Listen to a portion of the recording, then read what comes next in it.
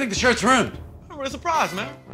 He has Parkinson's. So he's got Parkinson's. Of course, it's Parkinson's. Yeah, he was shaking. He would never do anything like that on purpose. Michael J. Fox, never in a million years. But he shakes, right? He has your soda that's shaking. He can't stop fucking shaking. So you're saying you don't believe me? I'm just not buying it. See that fucking milk you got in your hand right now? You hand that man a carton of fucking milk, guess what? It's gonna be a fucking milkshake.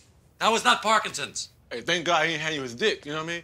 He could have been shaking and shook that dick up, handed you the dick, and the dick shot sperm in your face. Yeah, but what, what, why would he hand me a dick? I'm just an example. What kind of example is that? I'm just comparing it to other things you can shake up, right? With Parkinson's, right? You just live in a, a total dick world. I'm just, it's a good example. Right?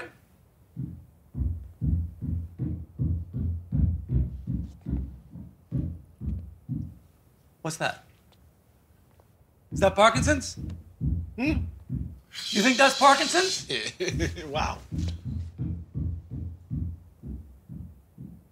He's pissed. He's pissed.